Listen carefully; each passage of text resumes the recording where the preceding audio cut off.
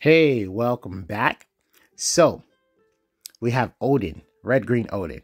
And personally, Red Green Oden is a very balanced leader. And being balanced at this point in the meta is not what you want to be. It really isn't, right? We reached a game state where balanced is not the answer. We need broken. We need leader abilities that could be used every turn, leader abilities that can add 12 cards in your hand, and uh, what do you call it? Give you crazy pumps and blah blah blah. And I say all that to say, I don't. I think what this leader needs, because like I said, I believe his playstyle is is a, in a sense, outdated. In a sense, it's like it fits an earlier set, like let's say OPO three four era, right? It's just too straightforward. You play one card per turn you let your opponent go, then it's your go. Then you probably play another card, maybe make an attack.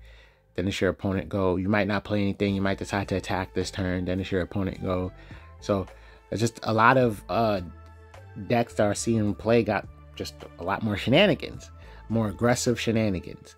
Um, so if they came out with some sort of uh, Wano cards that should be leader locked, that allow you to draw or search in a sense, then I think that fits this leader perfectly and would allow him to contend, uh, given what the state of One Piece is becoming. Right? We we just reached a point where it's like, it's like, yeah, I gotta just keep doing stuff, do stuff, do stuff, do stuff, and his leader ability does help him be slightly aggressive, but hey, it doesn't mean much anymore. Now it's like resources, resource management. That's that's what it is. So we don't have anything worth playing from what it seems, so we're just gonna swing for nine. So yeah, there, there is the Ryza or Raizo, right? Whatever. Um, but that's like I said, that's like from from a different era of One Piece. You know, you play him, you gotta wait a whole turn. You gotta have two characters, one rested, then you can attack with him, draw one card. Can't save him, so you're probably gonna get the one card from him. Otherwise, if you attempt to save him, you're using a resource and then it's like it's like you're replacing the the card's value essentially.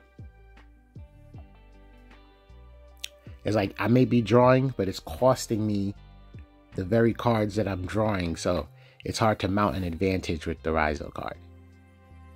But yeah technically that's a card that would help this leader. The route we went oh right. Look at that. You see that odyssey blocker? Okay the route we went is obviously more leader focused, where we want to play our five drops to make sure we have um, power, something sticking on the board, and to really be able to use our leader ability as much as possible because that is important.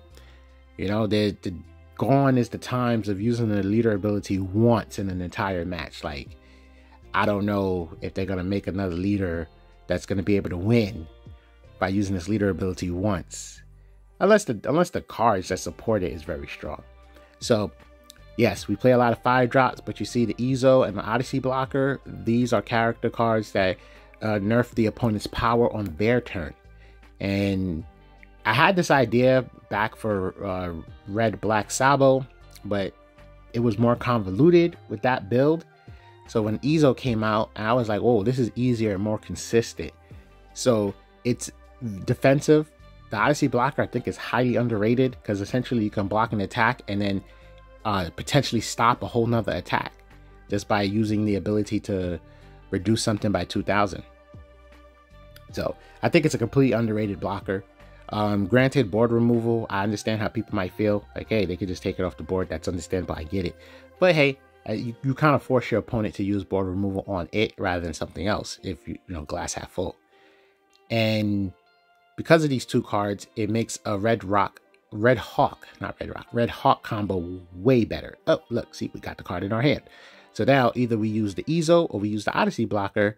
We could potentially stop two to three attacks, depending on how we maneuver the shenanigans, and um, and have board removal.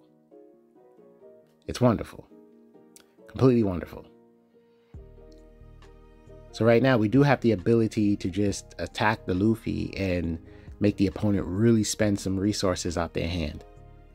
So we're swinging on Luffy for 8. He does have enough cards in hand to protect that Luffy. Well, he's thinking about it.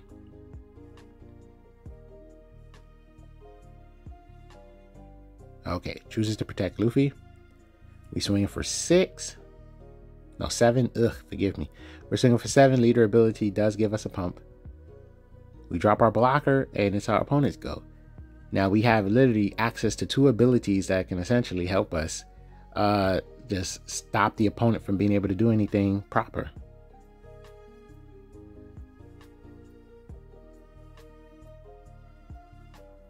Okay, so we're going to use the Izo ability. Me personally, I would have just went for the blocker, but understandable. We block, I mean, we uh, reduce, and we're going to go straight into the Red Hawk play.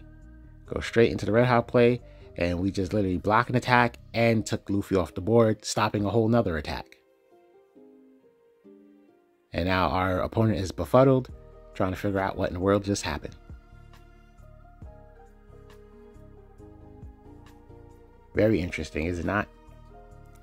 Yep, making like Red Hawk a two Don card that can not only stop an attack but take a 6k body off the board. Nobody's gonna be ready for that. Like, you know how like crazy it sounds?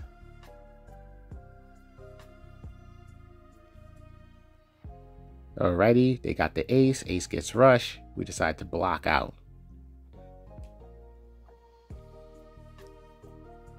Okay, so Whitebeard with five cards in hand. A board that visually looks kind of scary until you see what's on the board. Just a bunch of one drops. That's the funny thing. It's like Whitebeard's like a weird Zoro at this point. Just, just could play all these little one drops because the leader is so tanky. So we're doing a 10k swing. They take that. And it looks like we're pushing for game here. Swinging for 11. Let's see what happens. Okay, so we got the GG on that one. See, I was I was gonna do a completely different play, but listen, the play that gets you the game is always the better play. All right, winning is always the better play. I'm thinking of the safe play. Let's let's attack into ace. Blah blah blah. Let's, no, it was like, why don't we just win?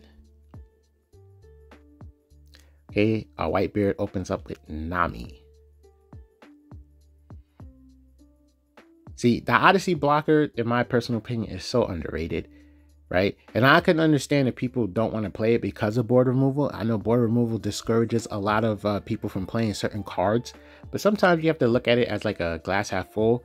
It's like, well, they they have to have it and they have to use it on this card, you know. So it, in a sense, it's still protecting other cards. But what I like about the Odyssey blocker, which I really wish I saw play way earlier when you know around the time it came out, is because it can potentially stop two attacks.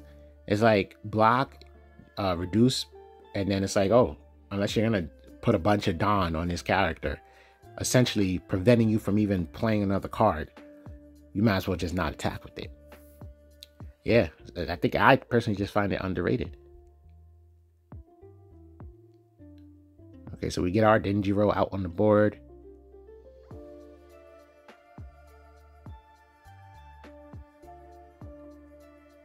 Oh, interesting. Okay, yeah, yeah, that's the better play. It's better to just get our leader to 6k rather than trying to just get two little characters off the board. See, that's why I just do the commentary. I'll just be making mistakes.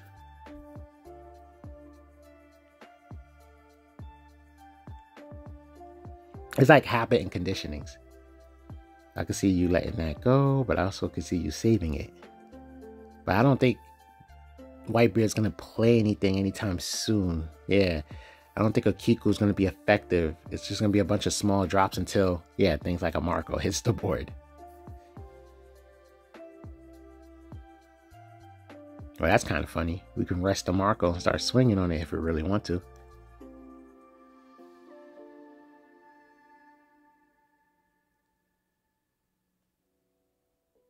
That's an interesting and funny play.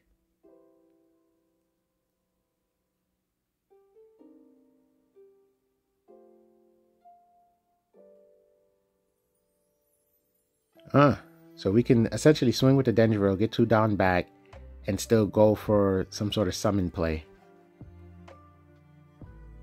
I, I approve. Oh, we're gonna do something else. Why are we swinging so hard? I'm I'm confused.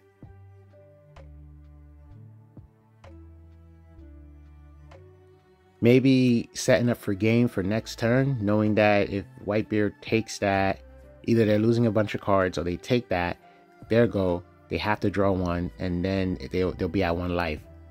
So maybe that's what that was. Basically reflecting the downside of Whitebeard's ability. That, that that felt like some old school tactic. I remember back in the day, it was like rush Whitebeard down, force him to just lose as many cards in hand as possible. I think we get rid of the uh yeah that one.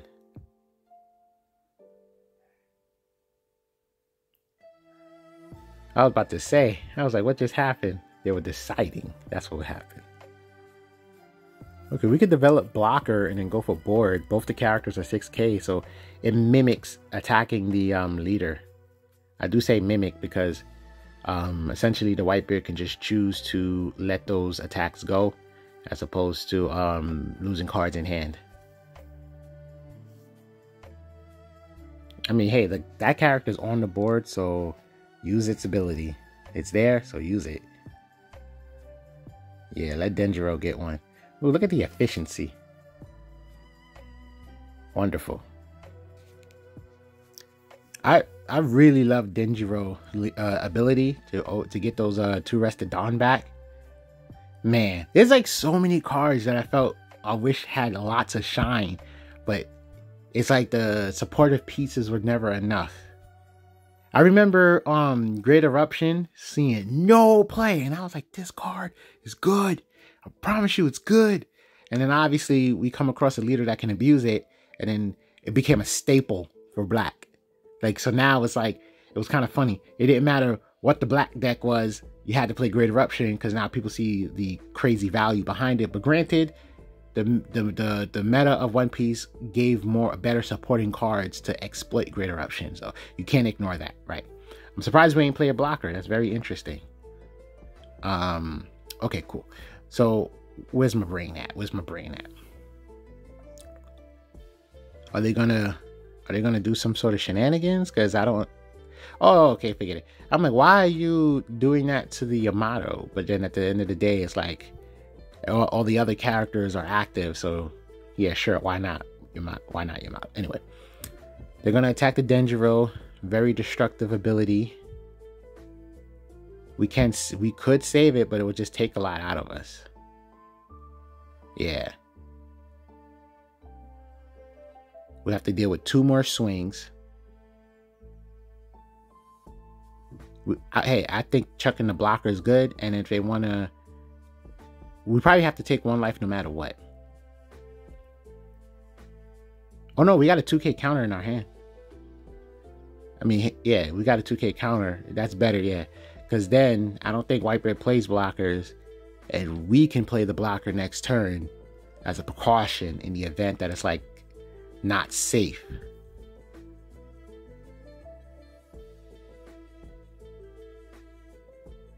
I could see us taking this one, but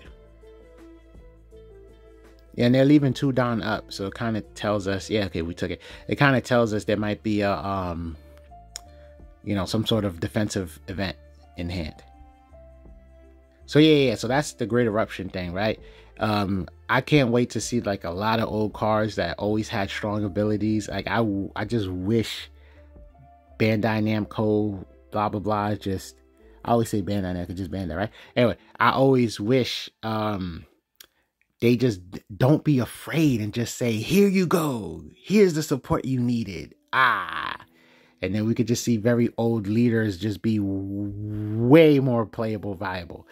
But I don't know what they can do for a, like the original King leader or for Yuta in terms of like supportive cards for them. Like you'd have to give purple a, a whole uh, not a whole different engine, but like a way stronger power reduction engine or some sort of benefit. So purple will have to mimic red a little bit more in order to make the king leader better. But anyway, let's let's get back to it. You know what? Wait, wait, wait. Just one more thing before. Let's let's do like a petition. Let's do a petition for like the dukiest leaders that we never even got to play, basically, and then just be like, give them super busted support so we can find. I know you. I know there's probably a few people with Z alternate art leader cards and just like can't even use them. Like, come on now. Like, let, let's have that fun. We need EBO2 to just release some toxic leader lock support. Super leader lock, mind you. Support. Oh my God. What about that Shanks starter deck? Like, ugh. Right? Film Shanks. Come on now. Come on. All right. Okay. So we are attacking this white beard and he is defending himself.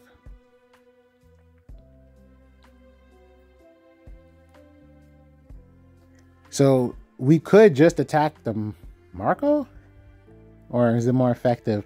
I feel like because of the events, you know what it is? It's more effective. Yeah, it's, it's, it's probably more effective to attack um the leader because even if they playing an event, depending on how much we're adding in terms of power, we can essentially just uh, force them to play more cards. Whereas attacking the Marco just leads into um, them dropping the one event by itself. So now we got two blockers, one life, and we have two attackers. They got two attacks essentially, unless they got a rush ace. And if they got rush ace, that's too much Don. A seven Don down, three Don to play with. There's not much they can do with a combination of our leader ability and Izo. Yep, uh, uh, respectfully, uh, G, uh, G. We are the low tier deck builders here at Level Grinding. Please give us likes and comments and a subscribe to truly help us through our endeavors.